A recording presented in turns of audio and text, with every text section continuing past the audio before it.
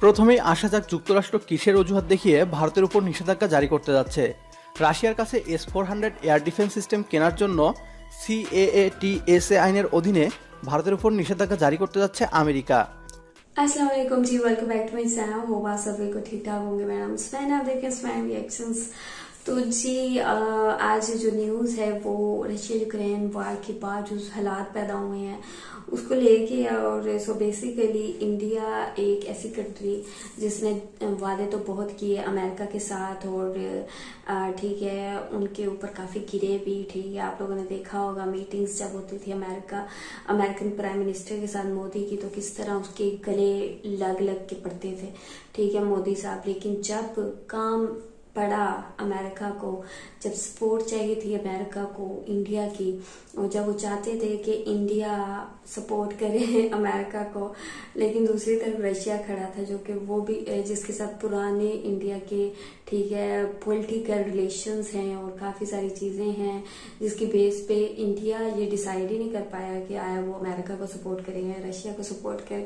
सो इस चीज़ को लेके ना इंडिया काफ़ी कंफ्यूज भी हुआ, लेकिन चुप रहा, ठीक है। अब हालात ये हो हैं कि अमेरिका को इतना गुस्सा है इंडिया पे कि अब वो सारा निकलने जा रहा है और अब बहानों बहानों से अम, इंडिया पे सैंक्शंस लगने जा रही है। वो कौन से सैंक्शंस हैं जो कि अब इंडिया पे लगेंगी? और ये सुन के जो है बांग्लादेश काफ़ी खुश हुआ है कि अब की बार सैंक्शन बांग्लादेश पे नहीं बल्कि इंडिया पे लगेंगे ठीक है? तो बिना टाइम इसकी रिपोर्ट देखते हैं। रिपोर्ट काफ़ी मज़े की है। आप लोगों ने पूरी देखनी स्किप बिल्कुल नहीं करनी।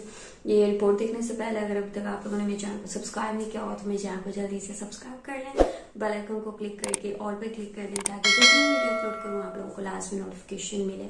सो so, जल्दी से पहले मेरी वीडियो को लाइक कर दें। सामने लाइक का बटन है जल्दी से या क्लिक कर दें। तो इससे हमें पता चलता है कि यार आप लोगों को हमारी वीडियोस पसंद आ रही हैं। सो चलते हैं देखते हैं वीडियो बस को।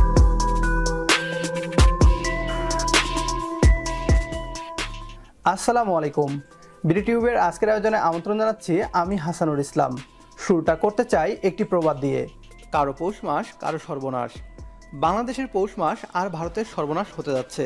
হয়তো অনেকেই থামনেল দেখেই বুঝে গিয়েছেন আজকের ভিডিওটি কী নিয়ে হতে যাচ্ছে।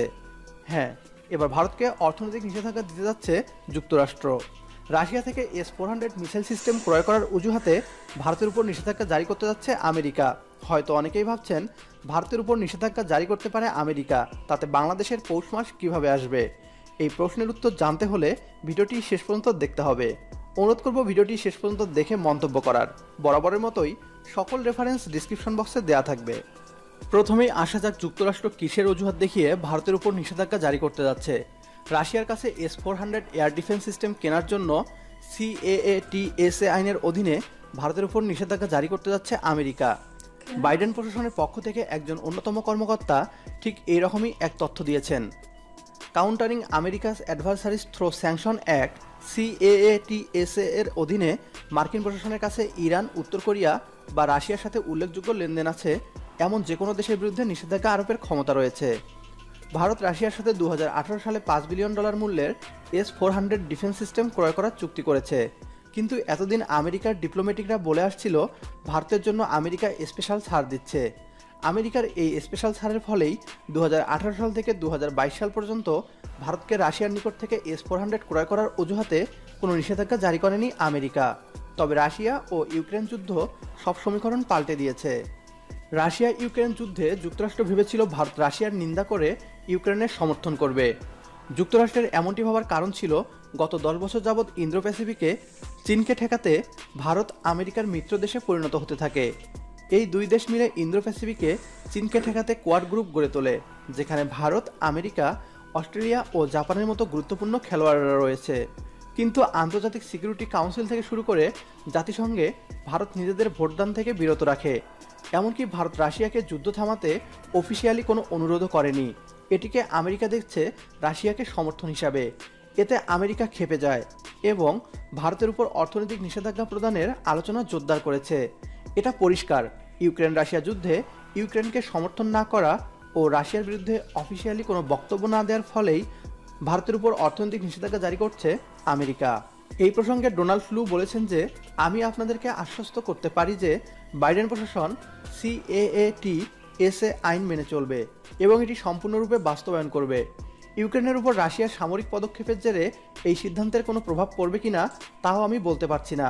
মিস্টার লু এর এই বক্তব্যটি প্রমাণ করে এস ফোর হান্ড্রেডের জন্য নয়, বরং রাশিয়াকে সমর্থন করার জন্যই ভারতের উপর নিষেধাজ্ঞা জারি করতে যাচ্ছে আমেরিকা। এক মিনিট, হয়তো অনেকেই ভাবছেন বাংলাদেশও জাতিসংঘে ইউক্রেনের সমর্থনে ভোট দেয়নি। তাহলে কি বাংলাদেশের উপরও নিষেধাজ্ঞা আসতে পারে আমেরিকা কিংবা ইউরোপ থেকে?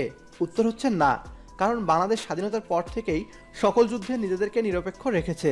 এছাড়াও বাংলাদেশ ইউক্রেনে রাশিয়ার হামলার উদ্বেগ প্রকাশ করে ডিপ্লোমেসির মাধ্যমে সংকট সমাধানের কথা বলেছে। সেই সাথে বাংলাদেশ আগেই আমেরিকা, ইউরোপ ও রাশিয়াকে নিজেদের অবস্থান পরিষ্কার করেছে। এতে কোনো সন্দেহ নেই। ইউরোপীয় ইউনিয়নের চাপ বাংলাদেশের উপর আছে, তবে তা পাকিস্তান কিংবা ভারতের মতো নয়।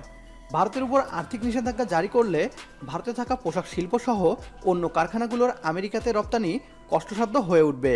ভারতীয় কোম্পানিগুলোর সেই খালি জায়গা নিতে পারে বাংলাদেশ। ইতিমধ্যেই অসংখ্য ভারতীয় পোশাক শিল্প বাংলাদেশে স্থানান্তর হয়েছে। নিষেধাজ্ঞা জারি করলে বাকি শিল্পগুলো বাংলাদেশে চলে আসবে। ভারতের সাথে সম্পর্কের অবনতি হলেও বাংলাদেশের সাথে সম্পর্ক বৃদ্ধি করতে পাঁচটি উচ্চ পর্যায়ের মিটিং করবে আমেরিকা ও বাংলাদেশের অফিসিয়ালরা। আমেরিকার পররাষ্ট্রমন্ত্রী ও বাংলাদেশের পররাষ্ট্রমন্ত্রীর মধ্যে একটি মিটিং হতে যাচ্ছে এই বিষয়টি নিয়ে ইতিমধ্যেই ভারতে তোলপাড় হচ্ছে ভারতীয় সিনিয়র সাংবাদিকরা বলছে ভারত একুল ওকুল দুই কুলি হারাতে যাচ্ছে এ নিয়ে আপনার মতামত আমাদের কমেন্ট করে জানান সেই সাথে ভিডিও ভালো ये जो ये थी वीडियो और आप लोगों ने देखा है कि अमेरिका का क्या प्लान है और इंडिया पे इकतसादी ठीक है अ, बंदियाँ लगने जा रही हैं ठीक है? लेट्स सी कि अमेरिका क्या खेल खेलता है क्या बहाना लगाता है इंडिया पे सैंक्शंस लगाने का और इंडिया के हालात काफ़ी बुरे चल रहे हैं ठीक है? एक टाइम होता है ना बंदे का खराब चल रहा होता है। सो so, इंडिया भी उसी उसी सिचुएशन में जू- जूझ रहा है ठीक है? और बांग्लादेश को ये न्यूज़ सुन के काफ़ी खुशी हुई है। इसी तरह पाकिस्तानियों को भी खुशी हुई है कि पाकिस्तानियों पर जहाँ पे सैंक्शन लग रही थी, पाकिस्तानियों को मीने ताने सुनने को मिल रहे थे, बांग्लादेश के बारे में बातें की जा रही थी। और अब जो है, वो टाइम आ गया है इंडिया पे। सो लेट्स सी आगे कौन सी न्यूज़ सामने आती है। तो अगर कोई आएगी तो मैं जल्दी जल्दी आप लोगों से शेयर करूँगी। तो आप लोगों ने स्टे ट्यून रहना है और मेरे चैनल को लाजमी सब्सक्राइब करना है। इस वीडियो को लाजमी लाइक करना है प्लीज़ इसे पता चलता है हमें कि आप लोगों को हमारी वीडियो पसंद आ रही है।